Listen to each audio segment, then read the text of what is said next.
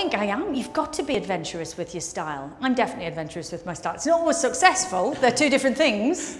Um, but you know, really, I think getting dressed should be fun, and it's just about playing and trying stuff. And it's not about kind of ticking somebody else's boxes. What you know, what everybody expects you to look like. Yeah, sure. It should be playful and fun, and that's definitely my approach to getting dressed. I've gone for navy because obviously it, it, in Boden World it's spring right now, which is great, but obviously in the real world it's autumn. So I like this because it's kind of like cozy and cute, but it's quite uh, spring. I love that sort of uh, kind of naval uh, colour palette, and there's a lot of that in the collection, which is really nice. It's quite fresh and kind of breezy, but you can wear it all year round. It's a bit classic, so it's nice. And also nice with red lips.